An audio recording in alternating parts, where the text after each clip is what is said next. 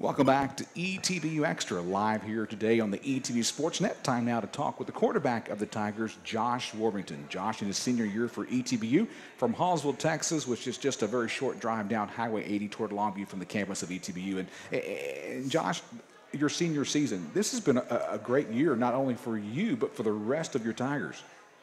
Yeah, it has been. Um, start of the season didn't really go as planned for me, um, but I never looked back after that. And as far as this team, we just came together, and as one, we just kept winning. And hopefully this weekend we'll come out and just get another win, especially for what we're playing for, for the lead of the conference, and be 4-0 at the end of the week. And it's really what we're practice all week, um, all year, fall camp and spring, and everything that we've gone through this whole uh, year so far. That's really what we've been playing for, and so I'm just very excited for it.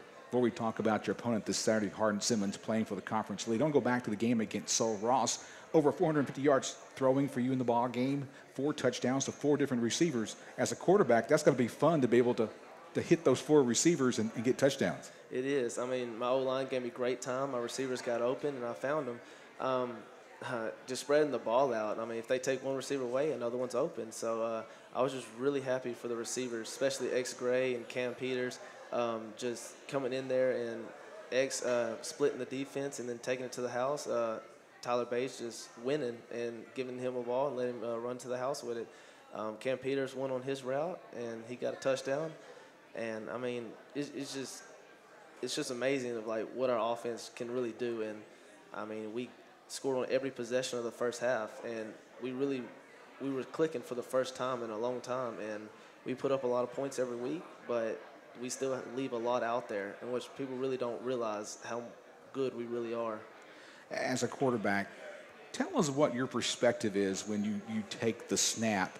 I mean, obviously, I would be scared to death back there with all those linemen from the defense coming to you. But kind of give me a perspective of the field as you see it as a quarterback. Um, I mean, pre-snap, I gotta scan the field, see what kind of uh, defense they're running, uh, what covers they're in. Um, they're bringing a blitz or something like that. But at the end of the day, I really don't pay attention to it. Uh, I got my progressions to go through. I got the best O line in the nation, and they're going to protect me. And I mean, so there's really nothing I have to worry about. I just got to sit in the pocket, be patient, and deliver a ball, and give it to the playmaker in space.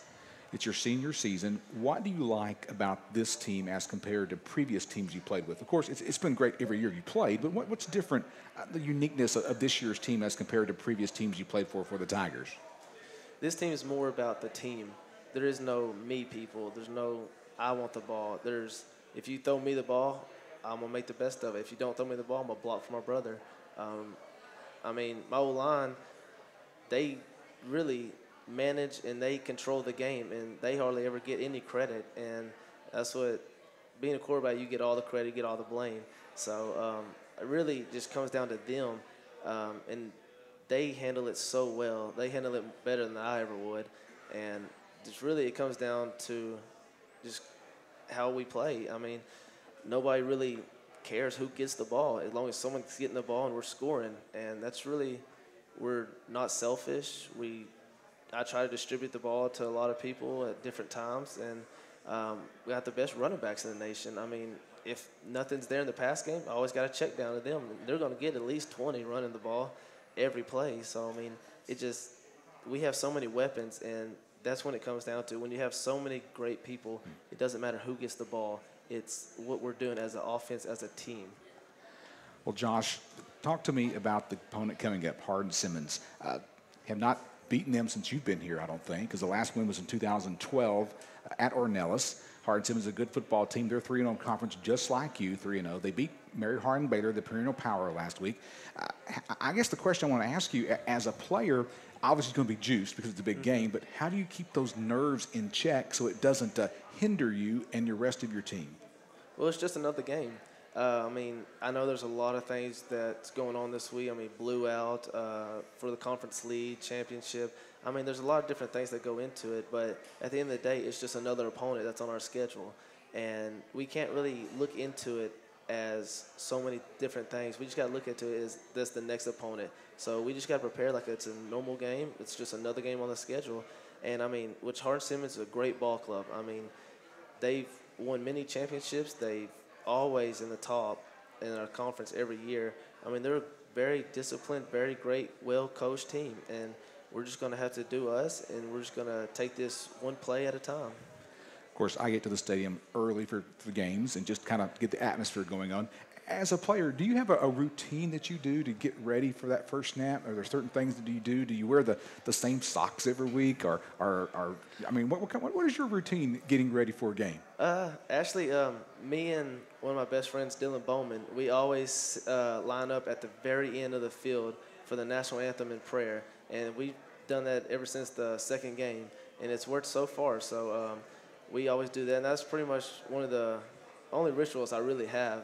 Uh, we after the national anthem, we give each other a hug, tell each other have a good game, and then uh, I go and throw. Uh, I say a quick prayer on the sidelines, and then I throw to Chase Sawicka or Tyler Bates before um, before we kick off or receive. And so that's really that's really the only uh, rituals that I have, other than just normal, just patting everybody on the helmet, saying let's have a good day. And so I, mean, I really don't do nothing spectacular. I just just do something, just something a little simple every game.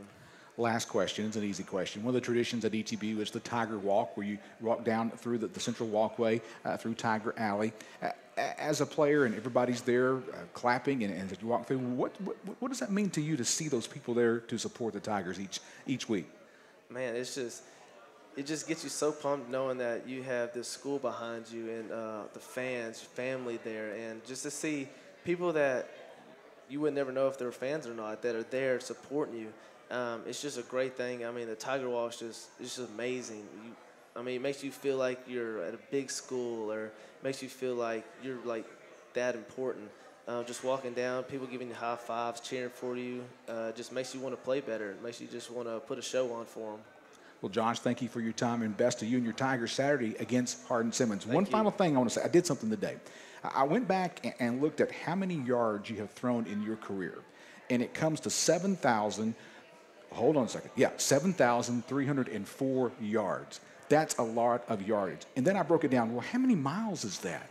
That's 4.15 miles. You've thrown the football at ETBU so far, 4.15 miles. That's a long way to throw a football. But congratulations on the great uh, run you've had here at ETBU. Of course, it's not over because you got the big game Yes, sir. Saturday. Appreciate Josh Warbington being our guest here today on ETBU Extra. Tigers, as I said, play Hardin Simmons at 2 p.m. at Ornelas Stadium.